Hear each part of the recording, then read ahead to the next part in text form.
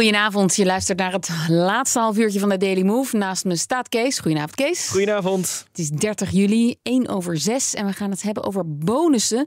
Want de nieuwe topman van Proces krijgt een bonus van 100 miljoen dollar als hij vier jaar aanblijft en de doelen haalt die gesteld zijn. Een moonshot heet dat dan. Ga ik nog even overdag dromen en wat doen we nog meer Kees? Nou, moet je je voorstellen dat je een scheur krijgt in je koophuis. Hartstikke irritant, ziet er lelijk uit. En je wil natuurlijk niet dat je huis minder waard wordt en dat je daar schade door krijgt. Nou, bouwbedrijf Heijmans heeft de oplossing. Zelfhelend beton. Dat klinkt mooi. Tot half zeven zijn we bij je. En nu over die bonus van de nieuwe topman van Proces. Die is megalomaan en moet van tafel. Dat zegt uh, een medion. Die opkomt voor de belangen van institutionele beleggers. Fabrizio Bloisi is pas sinds deze maand de baas van Proces, maar kan dus nu al dromen van een enorme bonus. Moet hij wel vier jaar bij het bedrijf blijven en moet hij de beurswaarde verdubbelen. Een moonshot bonus van 100 miljoen euro. Een medion hoopt dat andere beleggers dat ook te veel vinden en het wegstemmen bij de aandeelhoudersvergadering. Bij ons is Umedion-directeur Rijns Abma. Goedenavond, meneer Abma. Goedenavond. Ja, die, die bonus vindt u dus megalomaan. Waarom? Nou ja, die, uh, die 100 miljoen is uh, maatschappelijk uh, sowieso al lastig uit te leggen. 100 miljoen dollar, niet euro, maar goed, mm -hmm. dat scheelt niet zoveel. Um, ook gelet op zijn jaarlijkse beloningspakket al van zo'n 14,2 miljoen euro. Dus in totaal is dit toch wel uh, een bedrag dat heel moeilijk is uit te leggen aan de maatschappij. Ja, maar toch kunnen we ook zeggen, het is een Zuid-Afrikaans bedrijf. Dus in hoeverre moeten we het nou hier echt uitleggen? Nou, het is uh, een bedrijf dat het hoofdkantoor in Nederland heeft en een beursnotering ja. in Nederland. Dus uh, het, is, het is een puur Nederlands bedrijf. En het lijkt erop uh, alsof het steeds gekker uh, wordt met, met die speciale bonus. Hè. Vorig mm -hmm. jaar al een 100 miljoen dollar bonus voor de CEO van Universal Music Group. Uh, als beloning voor het bijtekenen voor vijf jaar. Mm -hmm. En recent geleden de miljardenbonus voor een Elon Musk van, uh, van Tesla. En ja. het lijkt er dus op dat dit soort topmannen alleen nog maar voor dit soort bedragen kunnen worden geprikkeld om goed te presteren. En dat is buitenproportioneel. En dit heet dan een moonshot, geloof ik. Ja, een speciale moonshot bonus, zo is het uh, gepresenteerd. Uh, ik wist ook niet precies waar die term vandaan komt, maar het heeft te maken met uh, de, de, de maanreis die in de eind jaren 60 uh, op het programma stond in Amerika. Een moeilijk te realiseren doel.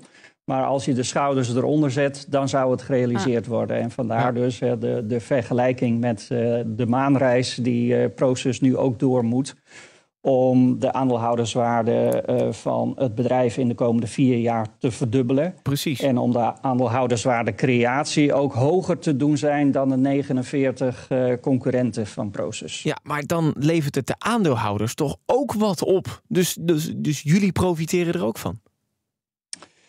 Uh, aandeelhouders uh, uh, profiteren daar zeker van als deze doelstelling wordt gehaald. dat is zeker zo.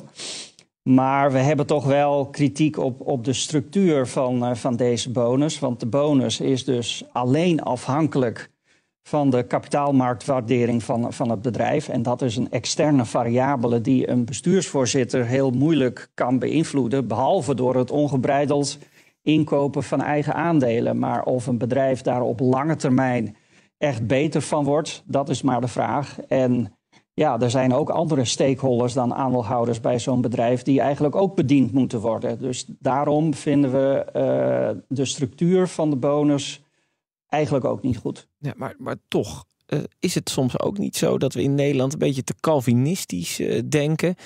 dat we daardoor misschien ook anders hele grote topmannen, de Messi's van, van de topmannen en topvrouwen, niet binnen weten te halen. Omdat het dan toch is, ja, je mag maar een paar miljoen verdienen en anders, ja, dan is het maatschappelijk lastig te verantwoorden. Ja, uiteindelijk realiseren ze wel, ook net zoals Musk, uh, wel extreme doelstellingen. Dat levert uh, ook aandeelhouders ook heel veel geld op. Nou, dat, dat moet dus nog blijken, hè, want hij is uh, nog maar sinds 10 juli mm -hmm. aan het roer bij, bij Proces. Hij krijgt ook een formidabel beloningspakket van ruim 14 miljoen euro per jaar. Daar moet toch al voldoende prikkel in zitten om het goede voor te hebben met, met het bedrijf. Dus wij vinden daarbovenop nog een extra bonus. Ja, dat, dat, dat, dat is maatschappelijk moeilijk uit te leggen in de huidige situatie van, uh, van de samenleving. De FD zegt trouwens dat ze verwachten dat uh, de aandeelhouders niet met uw plan gaan meestemmen. Wat gaat u nog doen om ze te overtuigen? Nou ja, de, de governance structuur van Proces is dusdanig hè, dat de, uh, de personen die deze bonus hebben voorgesteld en ook al vastgesteld, dat die ook stemmen over uh, uh, deze, deze bonussen. Dus dat zullen ze nooit wegstemmen.